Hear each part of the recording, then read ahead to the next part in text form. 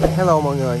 Thì uh, lâu dữ rồi em mới uh, quay uh, video lại cho mọi người tham khảo.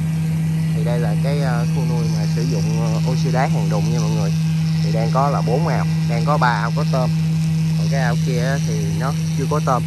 Thì em cũng uh, quay cho mọi người coi là cái ao đó thì nó sẽ sử dụng sau uh, mấy tháng trời thì nó sẽ ra làm sao. Thì để em dắt coi. Thì uh, theo uh, cái quan điểm cá nhân của em á thì tại khu này tới bảy tám ao rồi thì uh, có uh, mấy ao xài uh, kiểu uh, oxy đá cũ. Còn uh, mấy ao á, thì xài oxy đá kiểu mới. Thì uh, hiện tại đang uh, khu này khu bên đây á, thì đang chạy chỉ có một cục hơi lớn thôi. Nên nó khá là ổn đây thì nó cũng ờ, bị ờ, à, sức sức nút nha mọi người. Mấy cái máy hàng này như ờ, lúc đầu em hàng chưa có kinh nghiệm. Thì như mấy mối hàng này thì nó rất là ok.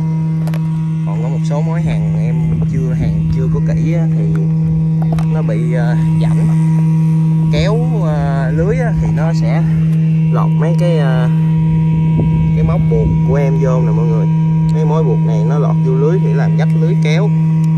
Chứ uh, như là cái mối hàng này á, thì nó nó bị rảnh nè mọi người thì nó nó sẽ sức đó. Thì bây giờ em sửa. Thì uh, như mấy cái mối hàng nó như được như thế này á thì nó sẽ dính chắc hơn.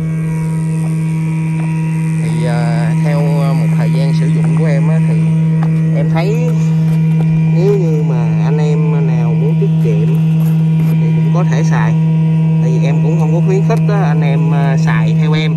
Vì tại vì á, mấy cái vấn đề mà ép không dính sức này kia thì à, em có mái nhà nên em có thể à, xử lý được hết. Còn như mọi người á, thì nhầm khi nó có thể gây khó khăn là phải kêu thợ này vô.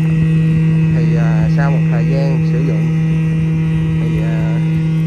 thấy nó ok quan điểm của em là ok đó mọi người thì đó đây anh em đang lấy mới lấy máy xuống để em đùng lại những cái mối mà nó bị ruột Ờ. em còn như cái khu bên đây thì nó có thêm ờ, hai ao. Hơi bự đó mọi người. Hai ao đang chạy oxy đá là tổng cộng 3 ao đang chạy một cục hơi bự. Đó. oxy thì nó lên khá là đều ao nha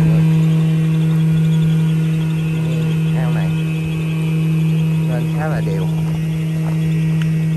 Thì uh, nó có thêm uh, một cái nữa là cái à, mà khuyết điểm của nó nữa là lúc đầu á thì nước mực nước mình nuôi nó thấp chưa có kê nước lên. Thì như lúc đầu mọi người nuôi 7 tấc thì chưa có kê nước lên đi. Sau này tôm dày quá mình kê nước lên thành à, 8 tấc 9 tấc hoặc mét đó là bắt đầu nó sẽ gặp một cái chuyện là mình khó vệ sinh.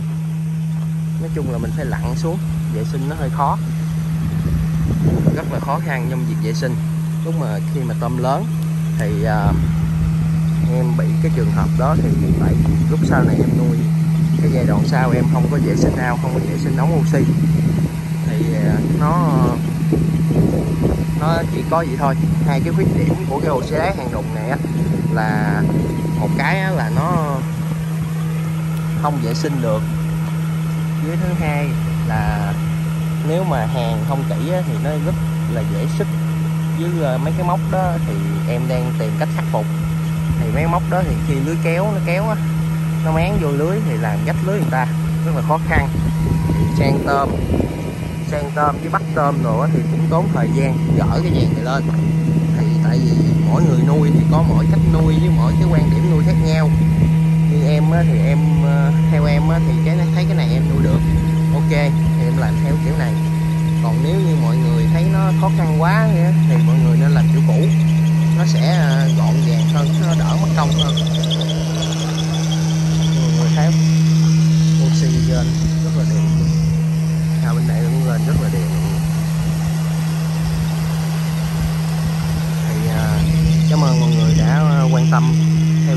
Video của em. Thì để em gán, cố gắng tiếp tục, em sẽ ra nhiều video, chia sẻ nhiều hơn cho mọi người. Cảm ơn mọi người rất nhiều.